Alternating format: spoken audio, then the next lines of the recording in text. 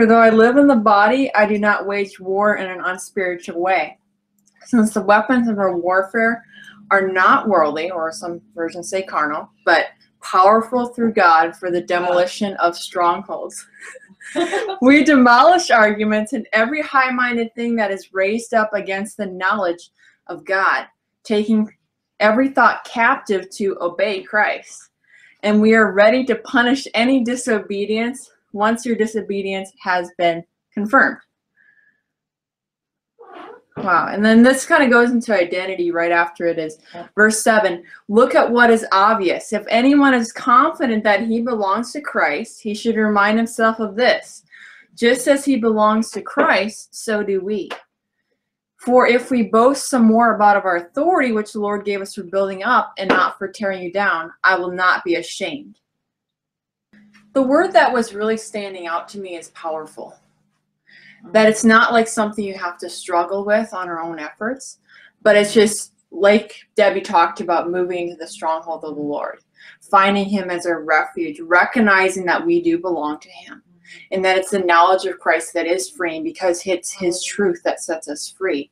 It's knowing that truth. And sometimes if we're afraid of truth, that in itself is a lie because the truth is yes. such a freeing thing. And I recently posted on my Facebook that the freedom of truth is much sweeter than the comfort of lies. Amen. So if you're ever intimidated to ask the Lord about something, or if you don't think it's the right question, just ask it anyways. Right. Because even if it's the wrong question, he might ask you a question in return, and then you get started of a, a change of thinking. It's like he's so tender with it. But at the same time, he is adamantly against everything that destroys you, everything that is against you, because his love is a fire, it is a flame, it is against evil.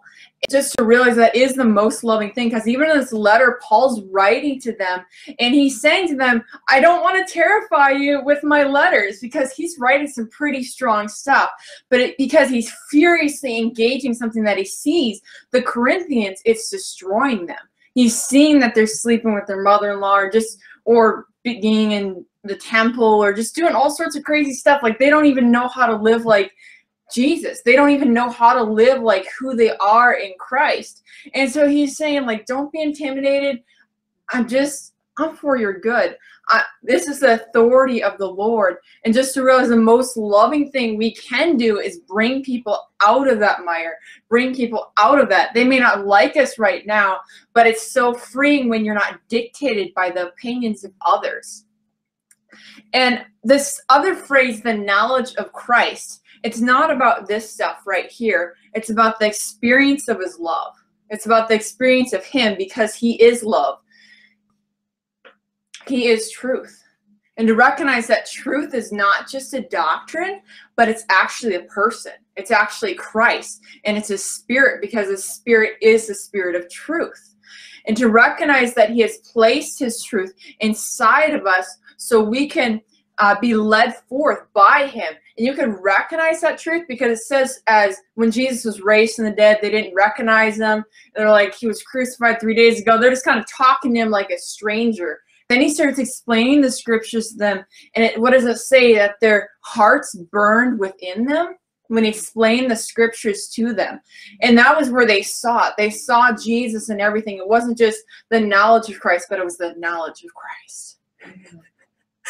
because when you see him in the story, then you start seeing your reflection like a mirror. And then as you remember who you are, you remember your design that he does not design you for evil, but he has made you for good, that he has fashioned you for his good pleasure, that we're actually made to do righteousness. I'm just going to go to Ephesians 1 because that's bringing something to mind to me. That he chose us in him before the foundation of the world to be holy and blameless in his sight in love And it says that he has given us every spiritual blessing in the heavenly places in Christ Jesus. to see that the way that he created us is good and that we are not lacking in anything. That we don't have to come and beg him for anything. We don't have to act like slaves. We just recognize that we're sons and daughters and that he is our father. And that changes the way that we approach life. That changes the way that we approach people. We're not trying to be in competition with them, but we're actually in conjunction, with coordinating with them because we're not divided anymore, but we recognize that we're one body in Christ. If the foot's hurting, the hand's going to reach down and rub it. And when we care for people like we care for our own body, we're going to recognize if they're in pain. We're going to recognize if it's emotional or if it's a stronghold or if it's something physical where we could minister to that because we realize, oh, this this affects me because this affects you. Because we are one in Christ. The knowledge of Christ. Wow that his divine power has given us everything required for this life and godliness through the knowledge of him and called us by his own glory and goodness. For by these he has given us very great and precious promises, that through them you may also share in the divine nature, escaping the corruption that is in this world because of evil desires. For this reason, Make every effort to supplement your faith with godliness, godliness, knowledge, knowledge, self control, self control with endurance, endurance with godliness, godliness with brotherly affection, and brotherly affection with love. For if these qualities are yours and are increasing, they will keep you from being useless or unfruitful in the knowledge of the Lord Jesus Christ. The person who lacks these things is blind and short sighted because he has forgotten the cleansing from his past sins. Therefore, brothers, make every effort to confirm your calling and election, because if you do these things, you will never stumble. For in this way, entry into the eternal kingdom of our Lord and Savior Jesus Christ will be richly supplied to you. Therefore, I will always remind you about these things, even though you know them and you are established in the truth you have.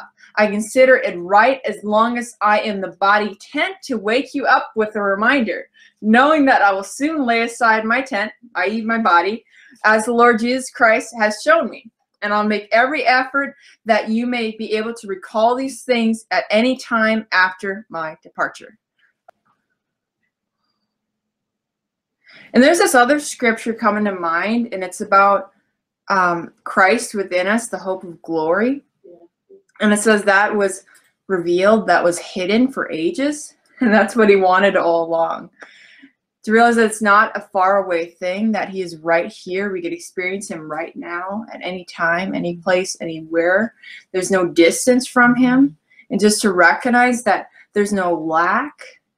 Wow, He's given us all things, He's given us everything.